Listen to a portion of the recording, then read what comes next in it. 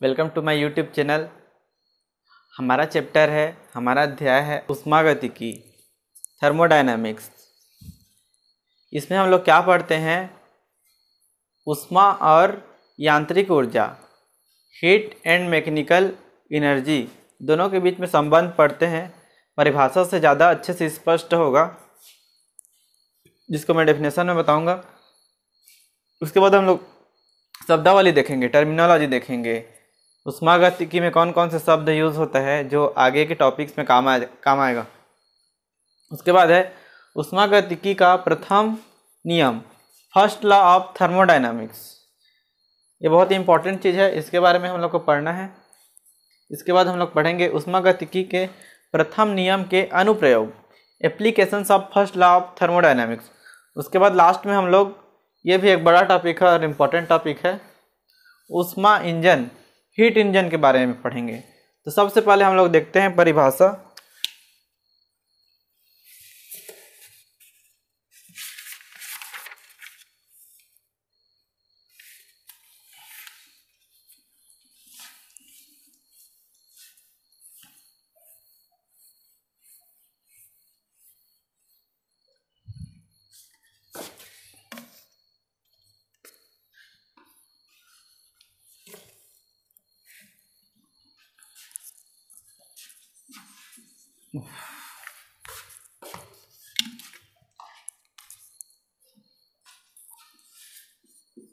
उष्मागतिकी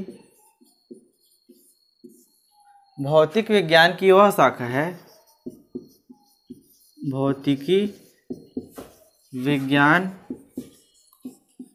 की वह शाखा है। इंग्लिश में, इंग्लिश वाले लोग लिखना thermodynamics is the branch of physical science in which we study about जिसमें हम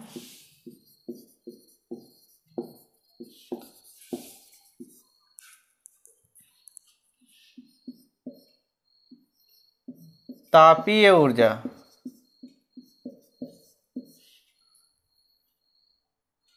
तापीय ऊर्जा और यांत्रिक ऊर्जा। क्या क्या बोला? तापीय ऊर्जा और यांत्रिक ऊर्जा के बीच में परस्पर संबंध का अध्ययन करते हैं। के बीच परस्पर संबंध का अध्ययन करते हैं।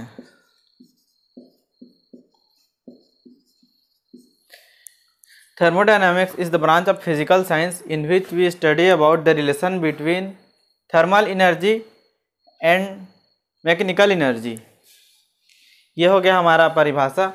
अब देखते हैं कुछ शब्दावली।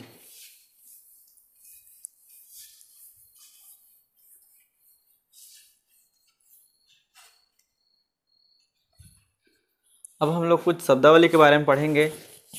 हमारा सबसे पहला शब्दावली है, निकाय और परिवेश। तो निकाय क्या होता है? निकाय कोई वस्तु होता है, जो कणों से मिलकर बना होता है।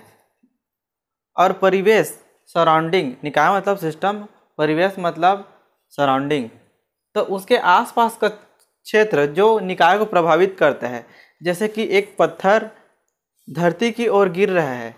तो यहाँ पे निकाय है, पत्थर और सराउंडिंग जो उसको प्रभावित कर रहा है, एक वायु उसको रोक रहा है और धरती उसको खींच रहा है। तो ये दोनों प्रभावित कर रहे हैं। तो सराउंडिंग में क्या आ जाएँगे? वायु और धरती और परिवेश में ये पत्थर का टुकड़ा आ जाएगा। निकाय और परिवेश समझ में आया? अब दूसरा नंबर है उष्मागतिक चर थर्मोडायनामिक वेरिएबल तो ये क्या होते हैं? वे चर राशियाँ, जिनकी सहायता से किसी उष्मागतिक निकाय की व्याख्या की जाती है। जैसे कि P V T S P का अर्थ होता है प्रेशर मतलब दाब। वी मतलब वॉल्यूम, आयतन। टी तापमान। एस इंट्रॉपी इंट्रॉपी बोलते हैं। तो ये चारों और भी हो सकते हैं। इन लोग उष्मागतिकी को व्याख्या करते हैं। तो इनको बोलते हैं उष्मागतिक चर थर्मोडायनामिक वेरिएबल इसके बाद है उष्मागतिक संतुलन। कोई निकाय पर लगने वाला नेट बल, net force acting on any system.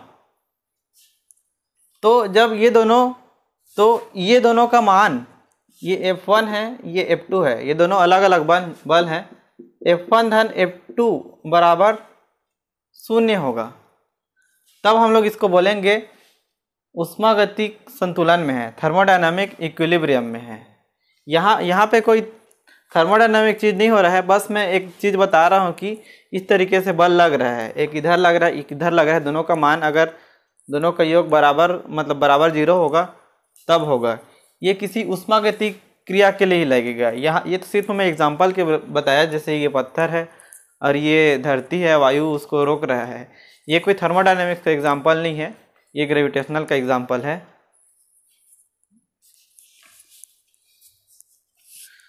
अब देखते हैं उष्मा गतिक अवस्था। उष्मागतिक अवस्था क्या होता है? तो यदि किसी निकाय के उष्मागतिक चर ज्ञात करते हैं,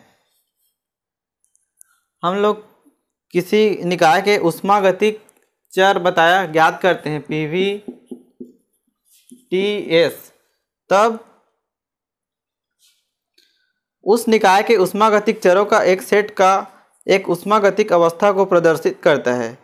यदि उष्मागतिक चर परिवर्तित हो जाते हैं तो निकाय की उष्मागतिक अवस्था बदल जाती है। तो इनके बीच में जो रिलेशन होता है ना, वो एक दूसरे के ऊपर चेंज होता है डिपेंडेंट होता है। उसी को बोलते हैं उष्मागतिक अवस्था। अगर निकाय का संतुलन बदल जाता है तो अवस्था भी बदल जाती है। इसके बाद देखते हैं आंतरिक ऊर्जा इंटरनल एनर्जी ये क्या होता है? प्रत्येक वस्तु, कोई भी वस्तु छोटे छोटे कणों, जिसको बोलते हैं अणु एटम से मिल के बना होता है। तो इन अणुओं के बीच में, एटम्स के बीच में दो प्रकार की ऊर्जा लगते हैं। आंतरिक गतिज ऊर्जा, डायनामिक एनर्जी, और एक लगता है आंतरिक स्थितिज ऊर्जा।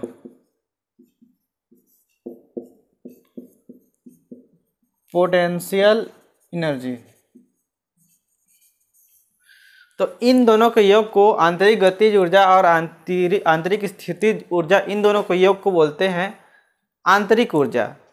कहाँ, किसके बीच में लग रहा है? तो कोई वस्तु या पदार्थ के अणुओं के बीच में लग रहा है।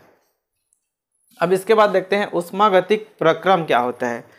तो यह होता है, किसी निकाय के दाब पी आयतन वी और परम ताप टी में से किन्हीं भी दो स्वतंत्र चरों को बदलकर निकाय के, को एक अवस्था से दूसरी अवस्था में ले जाने की प्रक्रिया को उष्मागतिक प्रक्रम कहते हैं।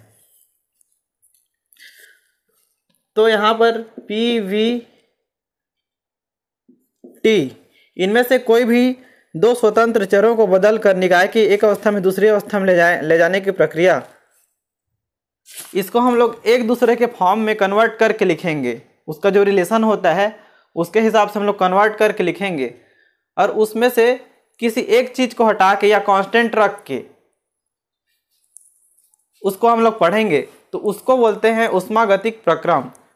इसमें हम लोग को कई सारे चीज़ें पढ़ना है, जिसको हम लोग जो उष्मागतिकी का प्रथम नियम है फ़र्स्ट लव थर्मोडाइनमिक्स है, उसके अंदर में हम लोग उसको डिटेल से पढ़ेंगे। तो यहाँ पे बस मैं नाम लिख देता हूँ कि उसमें हम लोग को क्या क्या पढ़ना है। उसको डिटेल हम लोग आगे करेंगे। इसमें हम लोग को पढ़ना है। यहाँ पे समतापीय प्रक्रम आइसोथर्मल प्रोसेस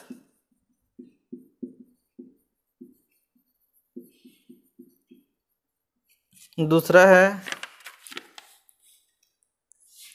चक्रीय प्रक्रम साइक्लिक प्रोसेस आगे देखेंगे सब, यहाँ पर नहीं देखेंगे, बस मैं नाम नाम लिख रहा हूँ। उसके बाद है रुद्धोज्म, प्रक्रम। एडायबेटिक प्रोसेस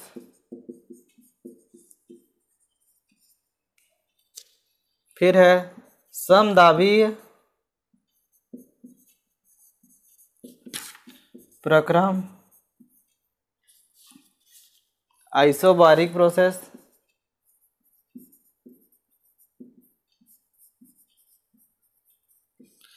उसके बाद है सम आयतनिक प्रक्रम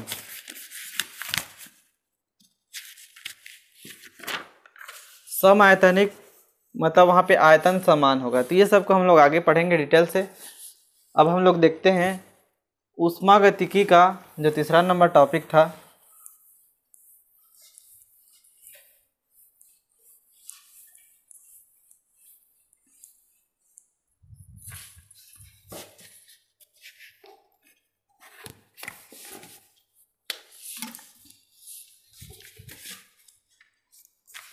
उष्मागतिकी का प्रथम नियम।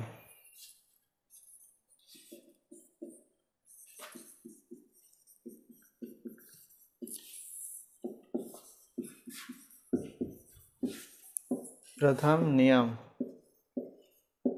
First law of thermodynamics. ये क्या कहता है? सबसे पहले ये फार्मूला को लिखते हैं। डेल्टा क्यू बराबर डेल्टा यू धन, डेल्टा डब्लू। अब ये क्या क्या है, इसके परिभाषा को देखते हुए समझेंगे। परिभाषा नहीं है, ये एक नियम है। इसी को बोलते हैं उष्मागतिकी का प्रथम नियम। First law of thermodynamics. तो जब ऐसे निकाय को बाह्य कार्य करने में समर्थ हो, ठीक है, उसको उष्मा दी जाती है। कोई ऐसा निकाय है जो बाह्य कार्य करने में समर्थ हो, को उष्मा दी जाती है। तो निकाय द्वारा अवशोषित उष्मा।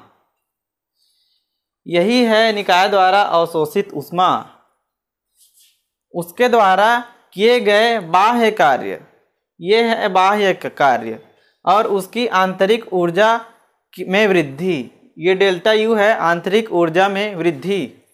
यू मतलब आंतरिक ऊर्जा होता है। डेल्टा यू मतलब आंतरिक ऊर्जा में वृद्धि। के योग के बराबर होती है। तो दोनों का योग कर लिए। और किसके बराबर हुआ? तो डेल्टा क्यू मतलब निकाय द्वारा अवशोषित उष्मा क्यू मतलब ऐसे अलग से लिख लेना लास्ट में। क्यू मतलब निकाय द्वारा अवशोषित उष्मा डेल्टा यू बराबर आंतरिक ऊर्जा। और डेल्टा डब्लू मतलब निकाय द्वारा किया गया बाह्य कार्य। तो हमारा हो गया उष्मागतिकी का प्रथम नियम। अब उष्मागतिकी का प्रथम नियम का अनुप्रयोग को हम लोग अगले लेक्चर में देखेंगे। धन्यवाद।